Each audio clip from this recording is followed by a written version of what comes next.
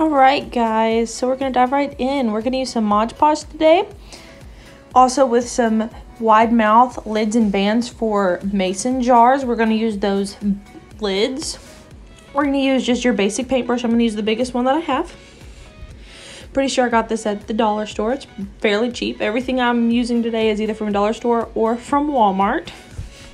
I didn't pay over $5 for each item except for these pictures. These pictures are from Walgreens, but you can order them from ever, or you can even print them out on a printer and use some paper. Um, just some household scissors. Also got the magnets from Walmart. They were four dollars. I got the small ones. Um, you can get bigger ones, ideally your size, depending on if you want the magnets to hold something up on your fridge or if you're just using them to display.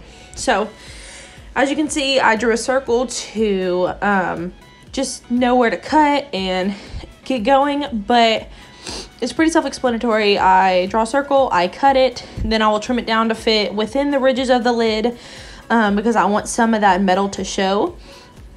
Um, but I cut it down and my circle is not 100% perfect, but y'all, it's, it, I don't think that really matters. I think it um, will look cute in the end, as perfect as you can get it. Um, just a few things around the edges is not a big deal um, it's not really that noticeable. So I'm going to take this Mod Podge. I'm going to um, Mod Podge the lid itself, and then I'm also going to add some to the back of the photo. Um, Mod Podge acts as a glue and a sealant, so you don't have to necessarily have glue for this project, but if you wanted to, you could just use a, a glue. I don't know if hot glue would be good because it's kind of thick, but you could use a glue to glue that down. So I let that sit. I get on to the next one um, while that one dries a little bit. I cut it out and then I'm gonna trim it down a bit.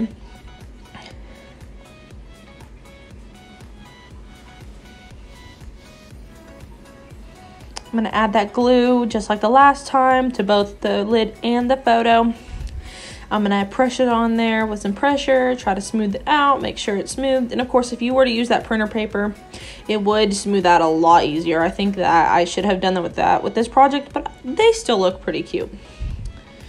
So right here, I just, it wasn't sticking as well as I wanted to, so I'm going to reapply, and then I'm going to actually add the Mod Podge bottle to apply pressure to hold it on there for a little bit. So now that that is dried enough for me, I'm going to add my Mod Podge to seal my magnets.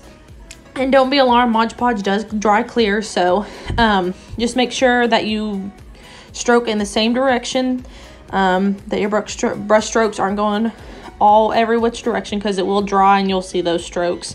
Um, but here it is. These are semi-dried.